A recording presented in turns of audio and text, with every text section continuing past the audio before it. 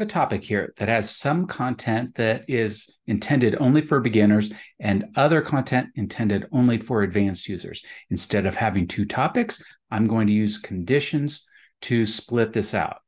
First thing, I'm going to come to the project organizer, open up a condition text set. I already have some conditions in here. I'm going to add a couple that are specific to my use case.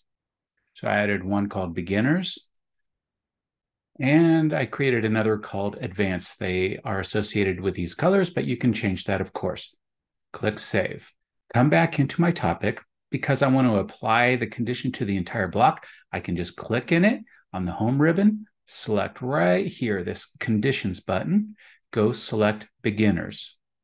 Now this content for the advanced users is actually in a snippet and I'm going to right click this, select conditions and choose advanced. I'm going to save. Now I need to go into the project organizer and I have a couple of online targets. So what I do is I come in here to my conditional text tab and I tell it, hey, for beginners, I want it to be included. For the advanced condition, I want that to be excluded. Save. Now go into the advanced target. Do the opposite. Advanced, I want to include, beginners, exclude, and save.